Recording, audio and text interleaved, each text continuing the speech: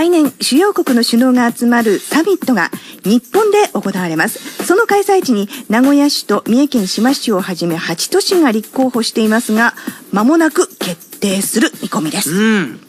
あ。まあ、今年のサミットも、まあ、終わらないうちにというか、まあまあ、今年設定る時期だからこそ来年どこなんだいう話になってくるわけですけれども、日本で開催なんですね。8年ぶりだそうです。あじゃあ日本のどこで開催しましょうかというところに注目が集まってるんはいですね。はいはいこれえ名古屋と？いろんなところがね、立候補してます。この辺えり二つもある、そうなんですよ。名古屋市でしょ？志摩市、仙台、新潟、軽井沢、神戸、広島なんていう名前がお上ーがっています。この地方で言うとそうなんですよ。名古屋市とか志摩市。しかも志摩市が有力だぞいう、今日はそんな話なんです。あそうですかはいはい。まずサミット。これはね、主要国首脳会議のことですね。アメリカ、イギリス、日本など G7 と呼ばれる主要7カ国のトップが集まって年に一度開かれる会議です。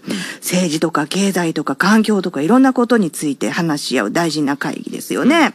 会期2日間、各国持ち回りで、えー開催するというのが恒例となっております。来年のその日本でやりますよっていうのが42回目。そのうち日本での開催っていうのは今まで5回やりました。次回で6回目を迎えます。ちなみに1回目から3回目は東京、4回目は九州沖縄ということだそうです。前回、うんどこで開かれたか、じゃあわかりますかね日本の前回。忘れました洞爺湖サミット。あ洞爺湖サミットやそうやそうそうなんです。うん5回目は洞爺湖サミット。一躍有名になりましたよね。そうなんです。やっぱサミット開かれるとものすごい話題になりますので、えー経済効果もすごいらしいんですね。あ。そこもあんないいホテルがあったのかと僕らも認識してね今度行ってみようと思いますもんね、ちなみにその洞爺湖サミットの場合は、施設の建設とか、それから来場者の宿泊など、直接的にそのサミットに関わった経済効果だけでもおよそ350億円。で、さらに、いや、なんかそんなにあったら行ってみようか、私らもって関係ない人が行ったりもしますので、うんそうすると、閉会後もいろんな人が行きます。それから会議なんかも、じゃあうちもそこでやりましょうなんてことで国際会議が催されたりとかして、およそ300億円、合わせて650億円ほどの効果があったと。いうことなんですね。かなり大きい効果がありますので、やっぱり日本でやりますよっていうことになりました。うちでやってくださいいうところが多いわけです。んはい。で、先ほどのいろんなところが、こう、立候補したわけですけれども、えーその、もう一回言いましょうか。名古屋市、志摩市、仙台、新潟、軽井沢、神戸、広島。えー一部ではこの8都市の立候補の中で、現在、志摩市が最も有力というふうに見られているとういうことなんですね。うん。ちょっと私たちも地元なだけに、まあ、名古屋市もありますけど、志摩市ですか？ってね、ちょっと浮き立ちますけど。あれでしょうね、あの恥ずかしくないところ外国からいろんな方に来ていただいて、うんうん。恥ずかしくないところというのはまずそういうことであそこは景色がいいですし、はい。それから食事を出すにもそうそう。美味しいもんあるからね。そうなんですよ。引きがいいとは言いますけれどもね。ああそういうことや。はい、うん。どんなところがじゃあね、開催地の決定のポイントになるかっていうところでいきますと、うん。はい。まあいろいろありますけど大きな要素としては、まずアクセスがいいね交通機関がいいことですね。それから会議場とか宿泊施設が充実していること。それから三つ目が、これ今一番大事だそうですけど、やっぱね、警備がしやすいこと。そういうことやっぱこう、ちょっとテロのね、あの、危険も最近は大きいですので、えー警備っていうのがかなり重要になってくるみたいなんです。で、あの、まあ、日本で開催するっていうふうには決まってますけれども、この間あの、えー ISIS ね、で、あの、日本標的にするなんて名指しで言われたこともありますので、じゃあその日本で行われるんだったらもう本当警備ちゃんとしてよという話になってきますから、これ重要なんです。ここが島県を、島市 OK。三重県島市、しっかりしてますよという最有力候補の理由の一つにもなってます。というのも、えー島市が開催ということになりますと、賢島が、あたりがメインの会場になってくるということになるんですけれども、えー近鉄特急終点の駅がある場所で、まあ、陸続きなイメージのエリアですけれども、実はここ離れ島になってますね。うんうん2本の橋がかかっていて、どちらかを通らなければ賢島には渡れないということを行きますと、2本の橋をしっかりチェックすれば、安全とうん。いうところ。これが警備面でとても良いと。なるほど。はい。しかもですね、うん伊勢神宮も近いので総理大臣や皇族の方々の警備というので、三重県警は慣れている慣れてますよ。慣れているうん実績も評価されてます。うんはい。ですから、この、えー警備がしやすいというポイントでは、ダントツ優位と見られているのがこの島市。うん。はい。じゃあ、そのアクセスとか会議場とかの充実、これはどうなのって言うと、これもいいんです。うんアクセスはセントレアからヘリコプターを使います。毎日天候が悪くても近鉄の特別車両を使います。ここでも近鉄サイドに皇族の方々などは乗っておられますので、ノウハウうちもあります。ああ、近鉄だな。ううん、いうことなんですね、はい宿泊施設、もう数百人規模の大型ホテルがいくつもあります。うんはいそのうちの一軒、島観光ホテル。ここはあんた、覚えていますか？華麗なる一族や。そうでございます。お正月になるとここでいつも飯食うとかやみそうです。昭 昭和天皇殿下がはいもうお泊まりになっているというあの、架空の話よりも、そっちの方が重みがある。そうそうそう、ね実際警備とかしていきますからね。そうそうそうはい。はいええで、あのー実はこのホテルかなり年季が入っていて、耐震工事なんかのために来年から改装する予定だったんですけれど、うんその予定を1年前倒ししてうん、すで、に全面改装のため1年間の休業に入っているうん。ということで、ここも万全。かなり期待値が高いと言われているんですねな。。で、さっき言ったその料理、私料理のことばっかり言ってますが、お料理だってこれ一流ですからね、ここは。はい。ねすごいですよね。うん。で、ちなみにこの G7 のトップで会議って言ったらものすごい人が関わりますよね。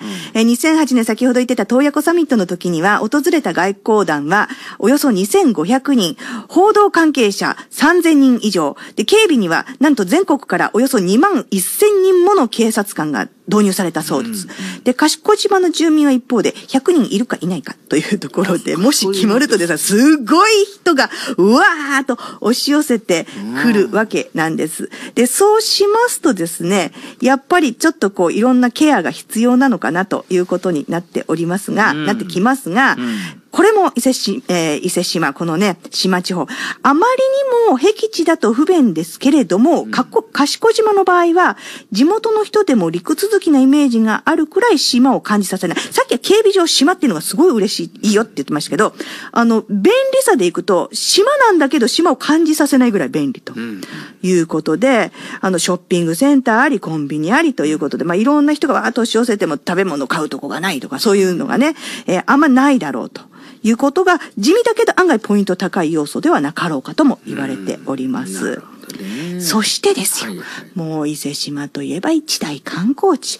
海外の方から要人が来られても、ああ、美しい日本というのを感じさせてもらえる、あの、リアス海岸アゴ湾の眺め。そして真珠の故郷でもあります。食べ物、坪さん気になってます。美味しいもの、伊勢海老もあります。はい海の幸は美味しいです。うんはい。そして、歴史も文化もあります。はいえー伊勢神宮ですか？セジング。伊勢神宮です。はいはい。ですから、えー首相が力を入れる観光立国施策の一環としてもアピールが国際的にこのね、時点でここでってこともアピールできちゃうんじゃないかと。うん。ええいうことで、さらにですね、三大、さっき言った三大要素、三大ポイントに加えてプラスされる、その保養地としての充実と、それからメッセージ性なんていうのも、もう完璧クリアじゃなかろうかと。うん。こうやっていくともう決まったねって感じがしますけどね。いうどうでしょうね。ねはい。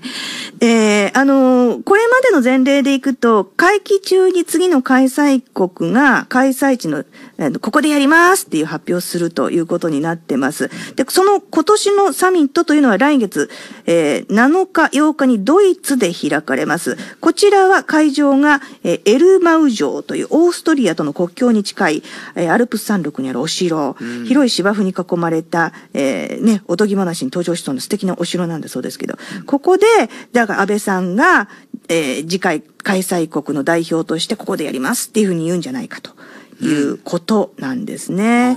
うん。えーまあ、あの、開催地の、こう、行政担当者も一緒についていくということなので、あの、日本的にはもうちょっと早くに発表があるんじゃないかなという感じもするんですけれども、決めるのは安倍さん、安倍総理大臣。うんはい。